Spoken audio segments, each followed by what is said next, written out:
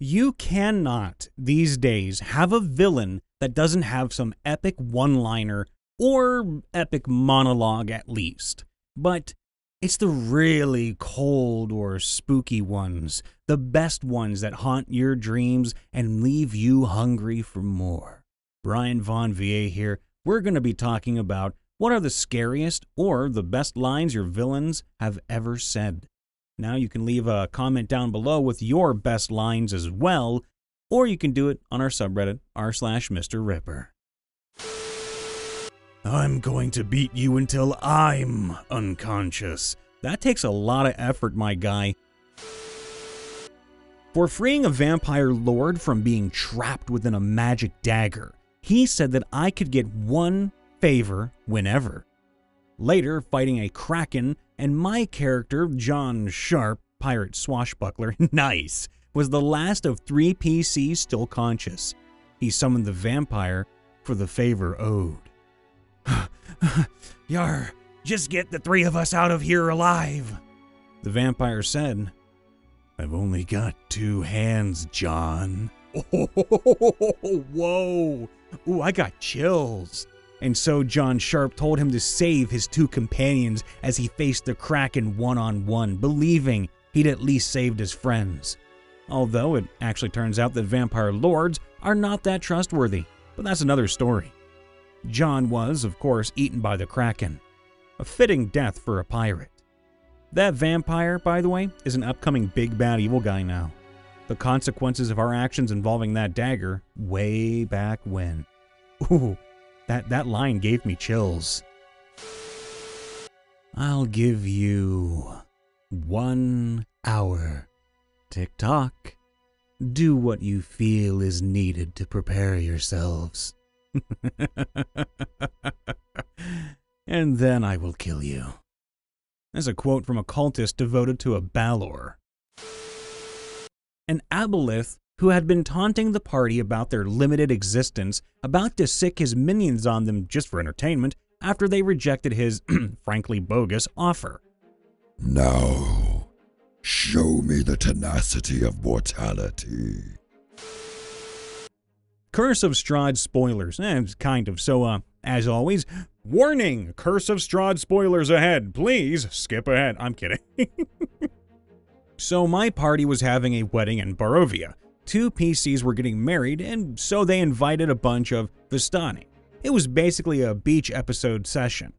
When things were winding down and the Vistani had left, Strahd arrived and one of the players, one of the people who were getting married, started the conversation.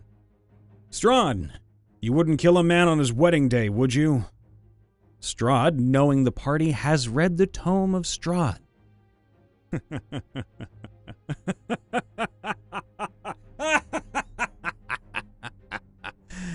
I would, and I have. And the party was pretty quiet after that. Party has been tracking this group of evil cultists, kills them, they have an intelligent Vorpal sword that spills the beans on what the cultists were up to. That they were trying to get to the corpse of a legendary adventurer to recover a magic amulet from the body. Where are they going to get this corpse? Well, in the middle of the afterlife, which in my setting is a physical place you can walk to, it's also lethally cold, which they're getting around with a magical lantern. So they make their way there, finding the body in a pillar of magically hard ice, which they hack into with the Vorpal sword. Once they get through, the body animates and flows like paint out of the ice. You've done so well reaching me. Who, who, who are you? I was talking to my sword. Oh, I'm currently running Curse of Strahd. Oh dear God, spoiler alert. Warning! Spoilers for Curse of Strahd incoming. the players went to Castle Ravenloft way too early, so Strahd let them go. Here's the context. The party has barricaded themselves in the castle dining room, using the furniture, of course, to rest inside Leomund's tiny hut. The hut dissolves around you, and standing there, idly swirling a glass of dark red liquid in his hand, is Strahd. Good evening. You've provided me some slight diversion, but your cowering like this has left me disappointed. While I could obliterate you here and now as easily as you might pull the wings off of a fly, there would be no challenge in it. With no challenge, victory has no thrill. So go, improve your strength, find some trinkets of friends, and come back when you think you're ready. The carriage will be waiting for you. After all, I so rarely have guests. Oh, and do put the furniture back how you found it on your way out, won't you? Strahd then walks backwards through the barricade and closed door as if they weren't there, giving a mocking farewell wave as he does so. Strahd is one of the baddest mothers on the planet Earth. I've been collecting quotes for use as Strahd in my own campaigns. Here's a few of my favorites. Perhaps you'll find one or two useful. Uh, warning! Curse of Strahd spoilers possibly ahead. you cling to life like a rebellious teen resisting curfew. But death is patient, and so am I. You are difficult to ignore, but it is well worth the effort. It's a dangerous thing, having a conscience. I will show you the justice of the grave and the true meaning of fear. Nothing unites people like tragedy. History is littered with the husks of broken men who gave their lives to bring glory to their betters. There is a fine line between consideration and hesitation. The former is wisdom, the latter is fear. Wisdom is the offspring of suffering and time. Loyalty is a fire that spreads quickly if the forest is dry.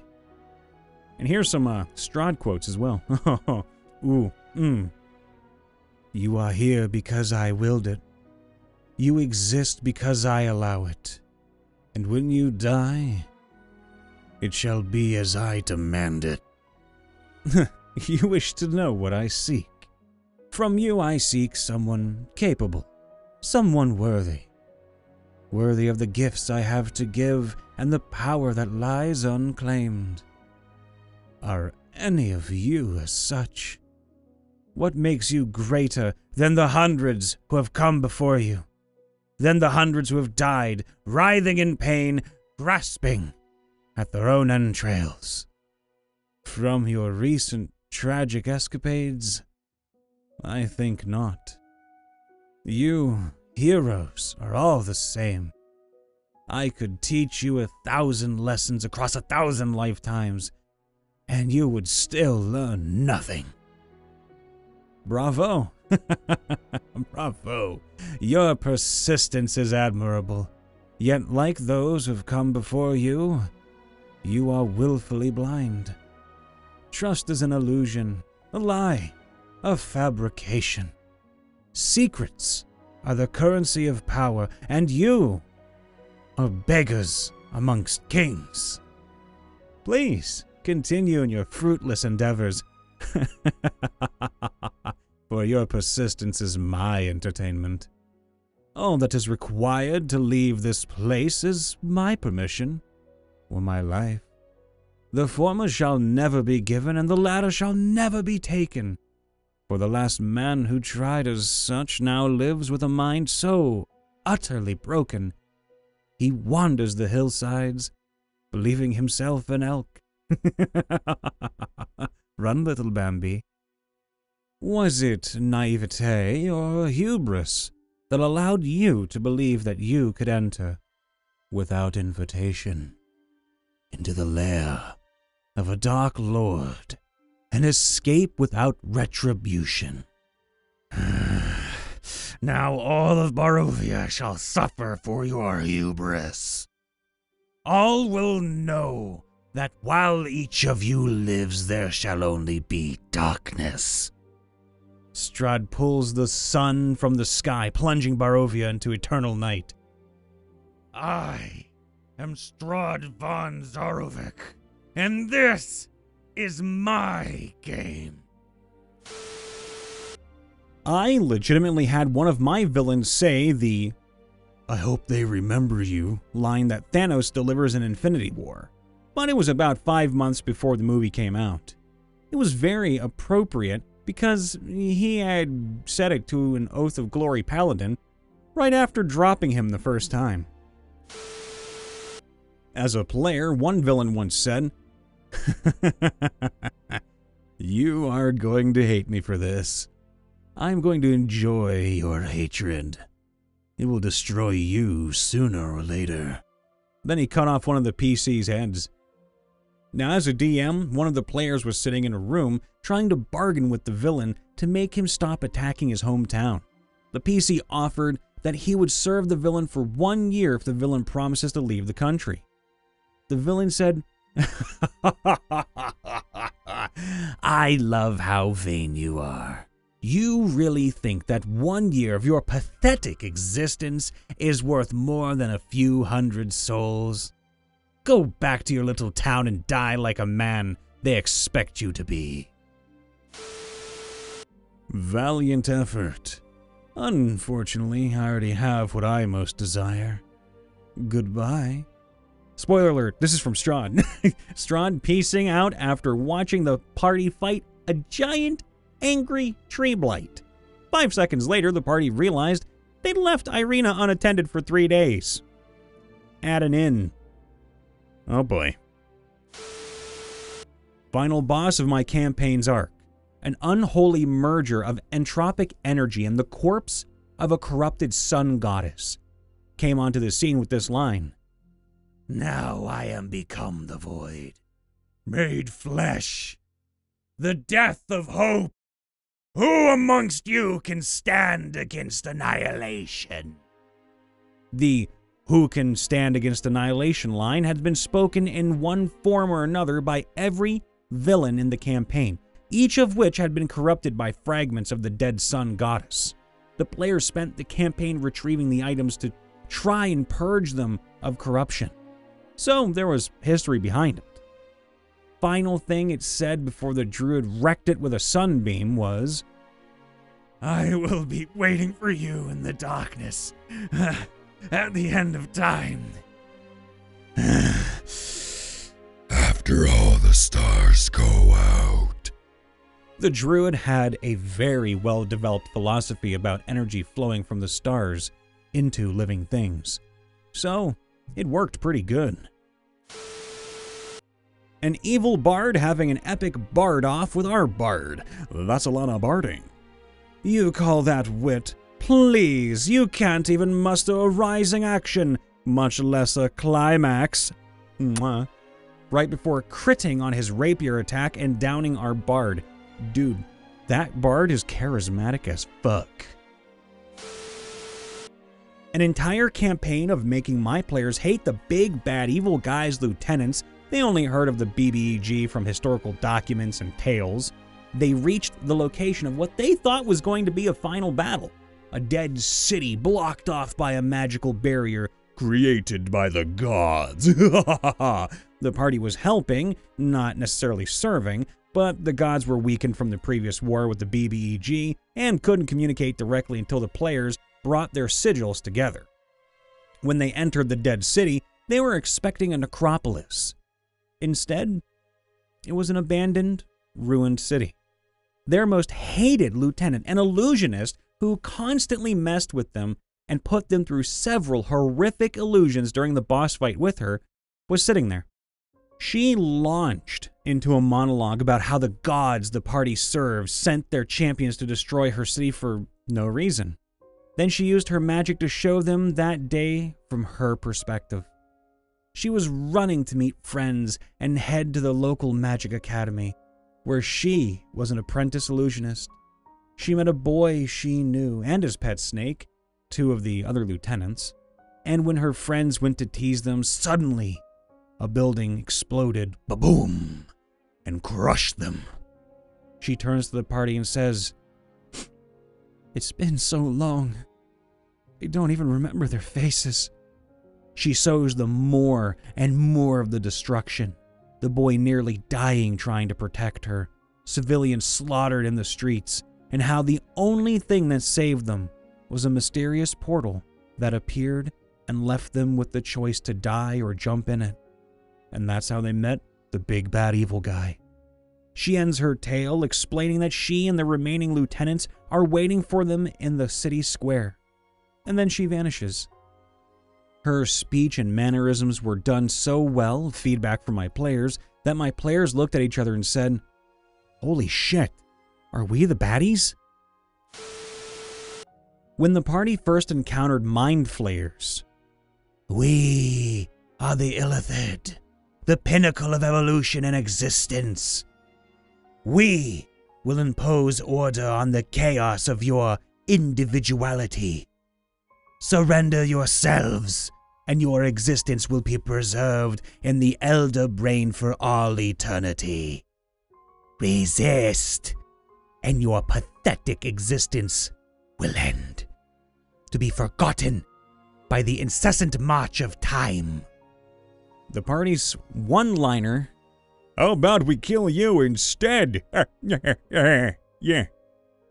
Your threats are as empty as your minds.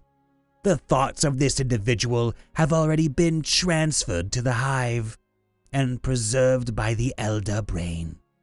Killing it is an exercise in futility. We have perfected thousands of civilizations before you and will continue to do so once this one has been Eradicated. serve us or face your Your doom. Hey everyone, Brian Vaughn VA here, back at it again, checking in after the vid. Man, do I love things like this. One liners, ooh, chef kiss. Make sure to leave a like, to subscribe, to ring that bell, and to comment down below some of your best one liners for villains or maybe even party members too. And you can do so on our subreddit r slash Mr. Ripper.